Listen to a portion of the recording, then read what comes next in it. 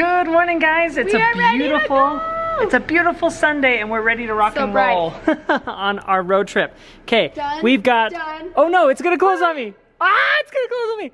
Okay, saved it. We've got all of our clothes and stuff in here. We've got an, a whole electronics bag. I know you're what, like, what the heck, Jared? What did you No, I possibly know that. I know why. it's like all of our electronics, cameras, drone, all of that good stuff. My laptop, guitar, ukulele. I know it's a little excessive for just like a short family reunion. Do you reunion. want to bring Jackson's bike? That might be a good idea. And Calvin's little red one. I just throw it in there? Yeah, we'll bring those in there.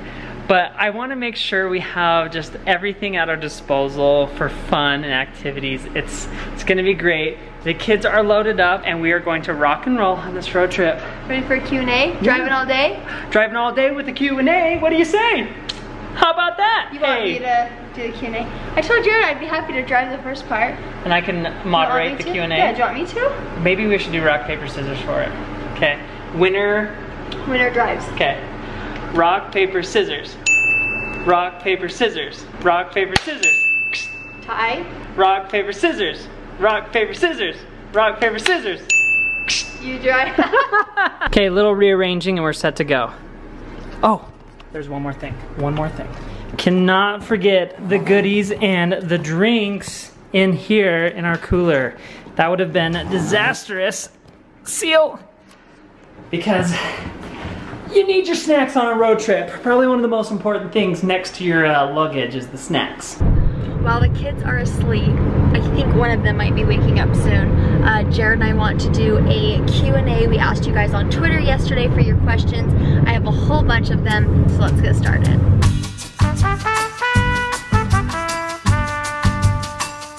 All right, the first question is, what is something you want Jackson and Calvin to remember about their childhood once they get older? Boom. Ooh, uh, I'm put on the spot. I think I want them to remember me playing with them at home. That's something that I had with my dad, and I felt like it was very special to me. Not everyone's dad worked from home, but mine did. I remember playing baseball with him outside nearly any time I wanted him to, you know, that he was free. And I like that feeling that I had with my dad, and I want my kids to have that same feeling. And, you know, it may not always be like that, but I want them to remember that. This is an interesting question that could go in 1,000 different directions. What is the biggest struggle of being parents? And my direction I'm going to take it is my biggest struggle of being a parent is finding the balance between everything else in life, um, between Jared especially. Um, one-on-one time with Jared, I think that, is something that we are trying to balance and figure out, if that makes sense. Oh, yeah. I, Like date nights, we're trying to do more dates, so it's just me and you time. But you also want to have the balance of, you know, playing with the kids. You want the discipline balance. You, I mean, there's always that struggle to find that perfect balance because it's constantly changing. And especially with age and with children, you know, Jackson needs a different balance than Calvin does. So I think that's that's hard to find. But I think the answer that I want to give for that, I, I think as parents, you're always wondering, like, am I doing a good job? Am I doing the best that I can do? Is Jackson, are Jackson and Calvin going to be the best possible versions of themselves because of my parenting? And that's something that I always want them to do is like, you know, I want them to be the best versions of themselves. This one just made me laugh. Will you just do chickens or will you do other little friends? Hashtag get a pig, hashtag real Peppa Pig. Um, for sure we're doing chickens and for sure in the future, like many years down the road, um, I definitely wouldn't mind getting some other little animals, especially if we ever got more property, that would be fun. Hashtag Peppa Pig in real life. I think goats would be fun. Now before you fall asleep, there's a question of, what is your favorite thing about Calvin? Uh, playing the fish game. Playing the fish game with them? Hmm? What else is your favorite thing about Calvin? To play tag outside. Oh, fun. How do you go about praying as a couple? That's a good one. I mean, we always do breakfast prayers. Yeah, I mean, like the meals and first, I think we should, we always need to pray more. I think you know that's Yeah. we want to pray more together, but before bed and meals is usually like when we pray. Um, yeah, morning and night, and then we we definitely have our individual prayers, especially when we went on our four wheeling date trip this week. We talked a lot about like how we were feeling and like what we have been like individually been praying about, and so I think that's a really good reason why you do need to have dates or one-on-one time with your spouse to talk about how you're feeling, what you're wishing, what you're praying for, what you're needing. Um, so yeah. What is the longest you and Jared have fought for? This is a very interesting question and it, there's no right or wrong way I think to, it's just what you and your spouse need to do to get over arguments. Jared and I from day one and it's been very good for us considering this is what we do for a living. Um, we do not linger fights. We don't hold grudges. We do get upset. We have arguments. We have arguments. disagreements. Yeah. Jared and I have always been open in communication and we compromise. And when I say, oh, I don't think we'll do that, and he really wants to, I know that, okay, then we will, or vice versa. We both are really good to just know not to take so much, or he's not to take so much, and we're really good to just like work down the middle. I've always thought selflessness was a huge factor in the success of marriage, but it has to go both ways. Both parties have to be selfless. Yes. Um, but how long did our boxing match last? Like when we were really angry and like we put on the gloves, and we went in the ring and we just duked it out. Was that like what, three 20 minutes? minutes. 20 minutes? How no? Jared and I are not perfect. We argue, we fight, we have discussions, we have disagreements. Our feelings get hurt. We say things we don't mean. But at the end of the day, we really don't go to bed fighting. Yeah. And that's what I'm very grateful for. That's very important to me that we solve what we can there. what is one thing you hated growing up, but now as an adult you love? Baked potatoes. Yes! I'm still having a hard time with mashed potatoes, believe it or not. I hated potatoes as a kid. Like, my grandpa, oh my gosh, he made me eat one. He's like, You're not leaving this table until you eat your potatoes. And I took a bite and swallowed it, and I threw up. I hated them. But going to Finland and becoming an adult, I've learned to like baked potatoes. What is the greatest thing you've done this summer as a family? And it's something that we haven't even really captured very much. Maybe on Instagram stories we have, but it's after we've ended the vlog, if the kids have stayed up late or if one of the kids, usually we kind of take turns, like if one kid's having a hard time going to bed or one wakes up, we just hang out in our yard with the grass and play. And that's been a really fun memory. What are some names you might consider for a baby? It says the baby, but um, just future babies. We totally love the name. Dallin. Totally. This says tips on discipline and learning for children. And I think more and more, especially as we get into YouTube and um, being open and listening to other people's stories, I think that as a parent, you need to definitely feel um, what's best for you and your children. Um, but the best thing that's worked for us on disciplining and learning from children is communication. Little three-year-olds, they're just three and um, they need to be, they need to learn and they need to respect and they need to listen but their little minds are so little still, you know? And so I think just communicating is a big key. I asked Jackson why I got mad at him. I asked him what he did wrong. And we talk through a lot of things. So, I think do you have that- any? Yeah, there's a saying that uh, I like. It's like discipline hard, but love harder. And that's something that I always try and do with our kids. Is like if I get after them for doing something, I love them. Like bring them in and make sure they know that I love them. All the more after the discipline, if that makes sense. You know what I mean? When you and Jared have another baby, will Calvin be moved to another room in the house or will he stay in the room he is in? Um, maybe not at first because the baby will probably be in our room With for us, the yeah. first few months. But for sure, that room upstairs it was and is kind of designed for the youngest, The- the, baby, baby. to be in that room. So eventually, uh, Calvin will be with Jackson or in their own room. I think it'd be really fun if they were in a room together because Yeah. I always love sharing rooms. So we'll see. I don't know about that, but... I can totally picture Jackson and Calvin sharing a room and then the baby having its own room upstairs. yeah. What are your favorite TV shows on Netflix?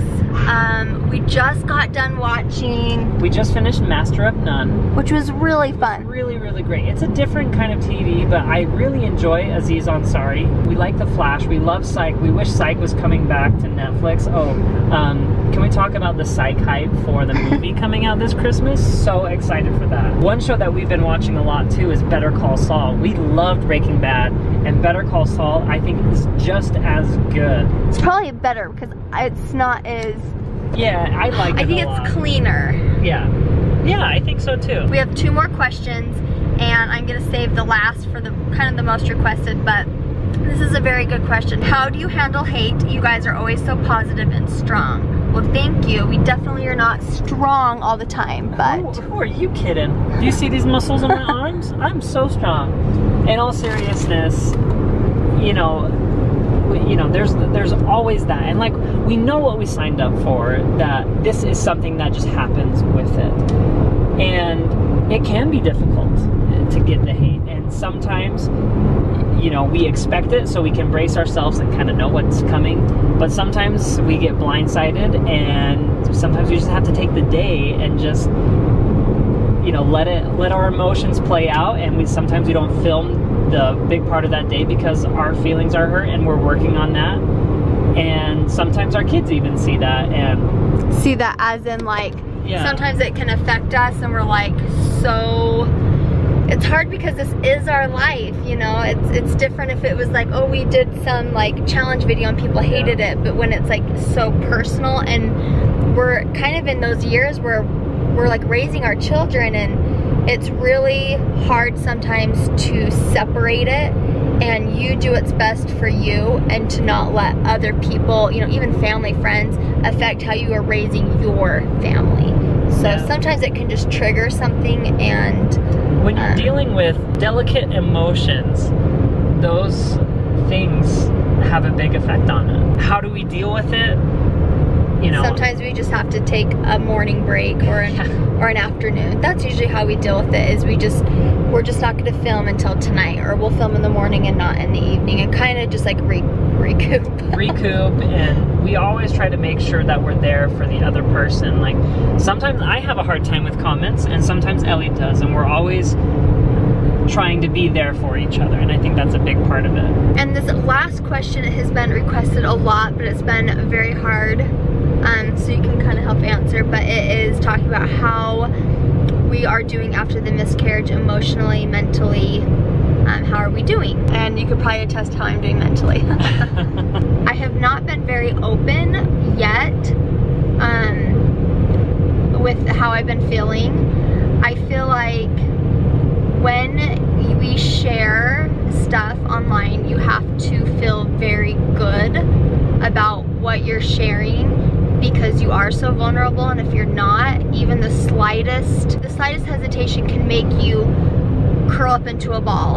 And um, I've done that a little bit and I totally have had to curl up into a little ball because I haven't been able to emotionally handle sharing and right now and I've shared a little bit and I'm very sad and I love and adore my children and I don't take them for granted and because I have two kids it doesn't mean I don't want more and I've just been very sad and blue and I've been confused and I've been confused because now I'm at a spot where my emotions are very raw and I just don't know if I'm ready to have another baby right now. So we're definitely just kind of just healing still, if that makes sense.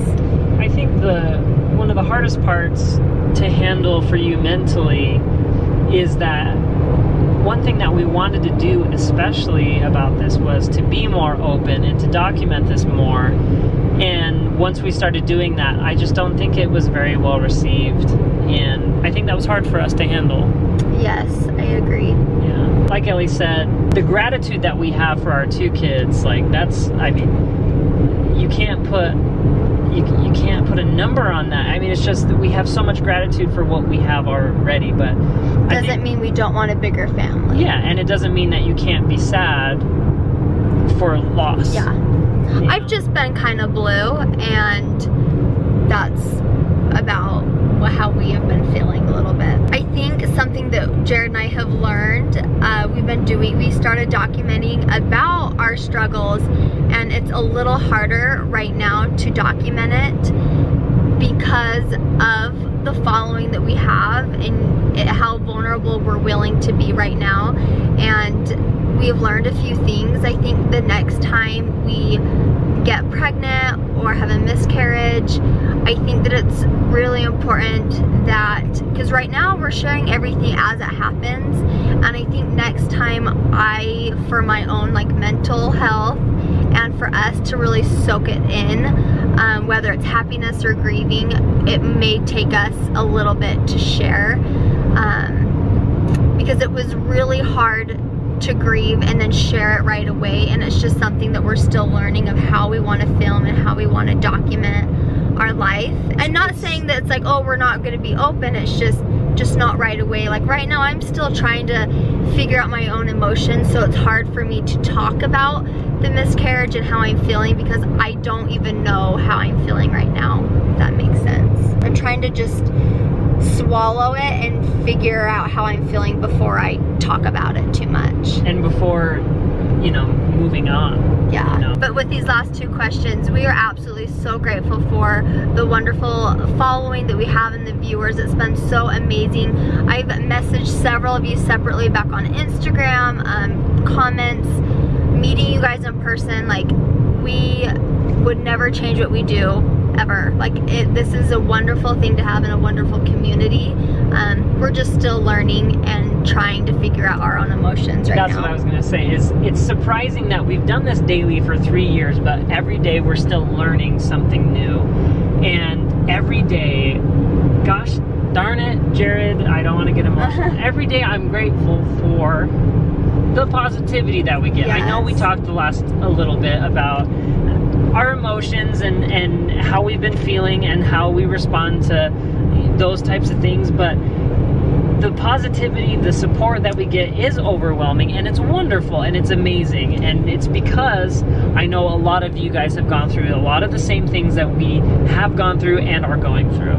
Totally. It, it outweighs the negative, and we don't really talk about the negative too much, but because of these questions, we're bringing it up a little bit. But it outweighs the negative, and we are so, so grateful for that. That does it for our Q&A. We are going to get ready for our little family reunion, so we're going to let Grandma in the vlog for us today. Hi guys, thanks for watching our I there's video. people playing all over the Thumbs up for Jared and I. Thumbs up. We'll see you tomorrow. Bye!